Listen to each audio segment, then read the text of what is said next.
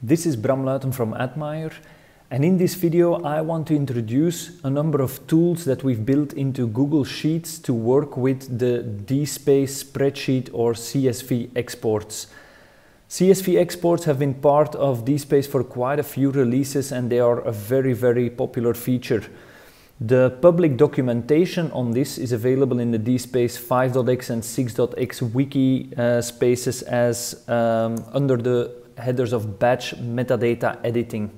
That's what it's called. In a normal version of DSpace, or at least in XML UI, you need to go to a specific collection. So if I go to a specific collection, I can export the items or at least the metadata from a menu that's called uh, export metadata. And that's available in uh, any installation of DSpace. However, in Open Repository specifically, you can go to any search operation or anything that you find as a result and you can also use the export button to uh, create a CSV export like this. I will go now to Google Sheets where I have imported one of these uh, spreadsheet exports and um, the tools that I'm going to show you today are primarily for processing these CSV export in something that you can more easily use as an, uh, as an internal report or to do some additional analysis or processing of these sheets.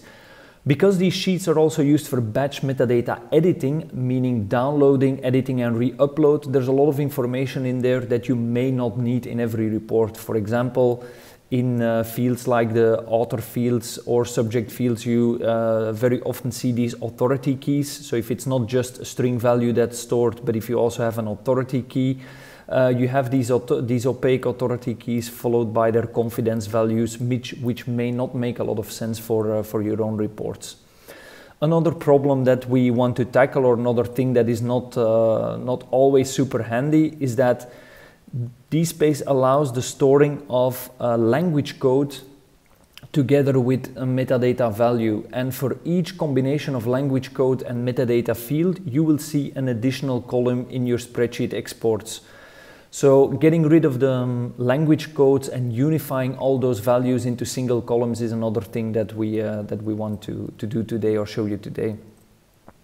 And then a last uh, issue is that many of the fields or maybe many, many of the columns are not uh, super useful for every report. So typically you will want to select just a few columns. So let's say that I have ID, I have uh, the authors, or I have a few other columns. Uh, and then I easily want to delete everything that I'm not interested in. So in order to do that, we've developed something called, the sheet you're seeing here called Atmire CSV Power Tools. It's available through the bit.ly link bit.ly slash atmire Power Tools. And to work with this, you can create your own copy of this sheet. And then you have the initial setup tab that gives you some explanation on how you do the, the necessary permissions to allow code that is um, programmed into the sheets to execute. And then we also have a tab with a user guide, a user guide that tells you uh, what you can do with these power tools. So I immediately want to jump into the first example, the one where we were talking about those uh, authority keys where we have a value, separate authors, and we actually want to get rid of these authority keys for a specific report that we're making. All of the features that we've created are available through this menu, the Atmire menu, where you can then invoke these, uh, these operations. So if I go ahead to, the, to this uh, sample sheet, I can say, for example, I select these two, or I can even select the, the whole column, but I will just select these two. And then I will click remove authorities and voila, the authorities are gone. Let's uh, do Apple Z, like this is the un undo feature just to, to undo the sample sheet. It also works on, on a field like this where you have multiple authors in the same, in the same one. So this way you can, you can create an exporter, you can modify your sheet uh, to, uh, to not see these authority values for your reporting purposes.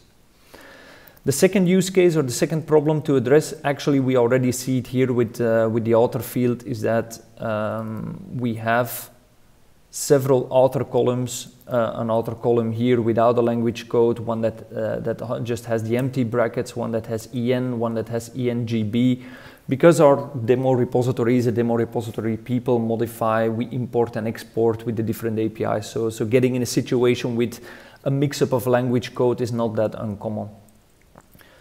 Um, so for this operation, we will choose consolidate multilingual columns. And if I do that, it will actually create a second sheet just to be safe. So we will not do any changes in the in the original sheet that we're uh, that we're using here.